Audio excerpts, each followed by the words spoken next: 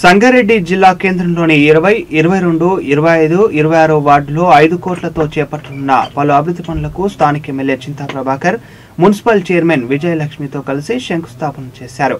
ఈ కార్యక్రమంలో టీఆర్ఎస్ పట్టణ అధ్యక్షులు R Venkatesham municipal commissioner Kumaraswamy పలువురు టీఆర్ఎస్ నాయకులు పాల్గొన్నారు.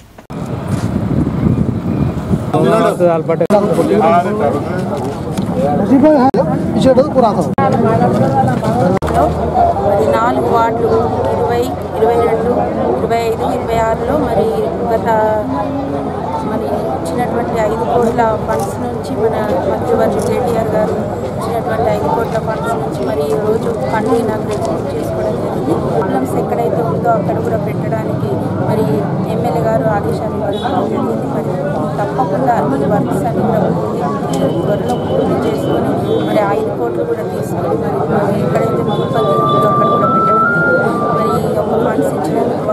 గారికి అందరికీ కూడా నేను హృదయపూర్వక నమస్కారం ధన్యవాదాలు